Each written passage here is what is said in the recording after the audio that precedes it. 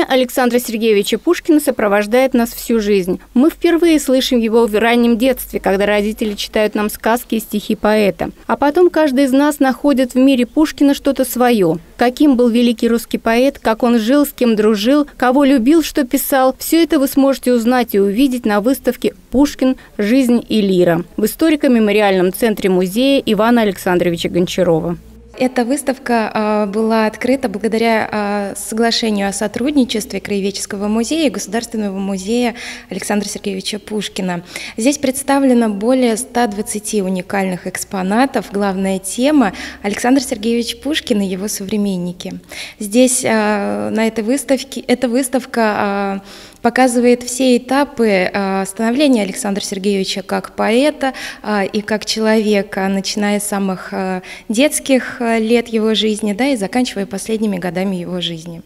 Также на выставке в акварелях, гравюрах, литографиях и живописных полотнах перед нами предстает Россия первой трети XIX века. Это и примилая старушка Москва, Царское село, Санкт-Петербург, Крым, Кавказ, Одесса. Виды тех мест, где родился, учился, жил, отбывал ссылки Александр Сергеевич Пушкин. Среди этих полотен особое место занимает подлинная работа известного художника Ивана Константиновича Айвазовского. На ней автор запечатлел море в Одессе. Именно таким видел его Пушкин, когда отбывал там ссылку.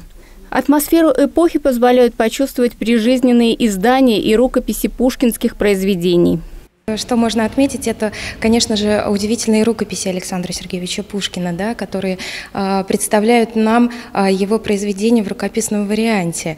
А здесь и Борис Годунов, здесь и э, Бахчисарайский э, фонтан, здесь э, э, все его произведения, и Евгений Онегин, да, мы можем видеть, где э, на полях он рисует э, э, тех людей, которые он встречал в это время. Э, например, даже э, Дениса Давыдова он изображал на э, своих рукописях. К слову сказать, подлинники рукописей поэта хранятся в Петербурге, в Пушкинском доме, но в Ульяновск привезли их воспроизведения на бумаге XIX века. Дополняет экспозицию подлинные предметы быта. Чернильный прибор с рабчонком первой четверти XIX века. Французский веер 1820-х годов. Цилиндр и перчатки первой половины XIX века. Мебель, канделябры той эпохи. Выставка будет работать до 20 сентября. Ирина Антонова, Юрий Ломатов. Новости Улправда ТВ.